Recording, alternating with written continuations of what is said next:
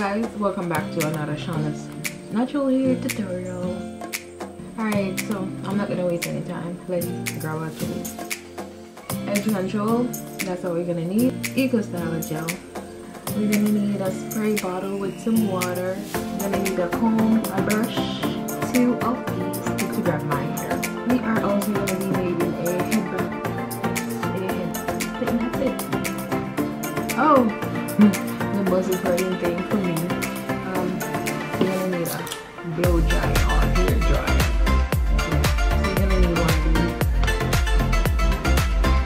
So you're gonna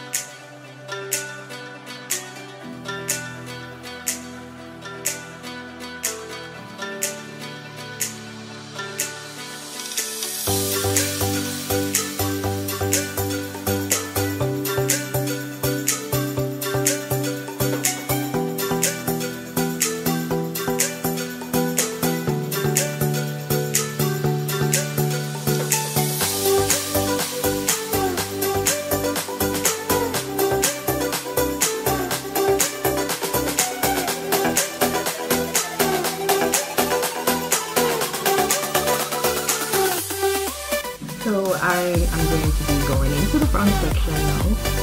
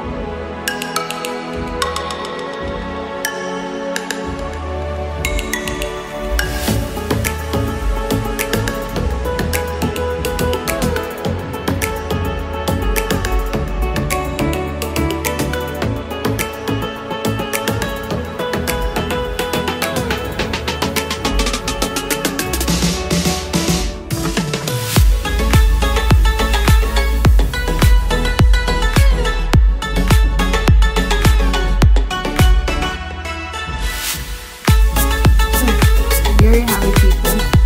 You have it. End another video. Mhm. And uh, I'll see you guys in video. Bye bye.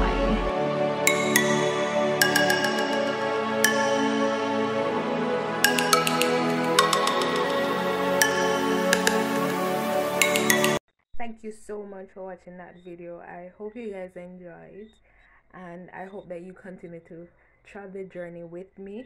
Don't forget to like share. Remember sharing is caring. Tell your auntie tell your uncle tell your brother tell your sister tell everybody. And um, also subscribe comment and click that notification bell for weekly videos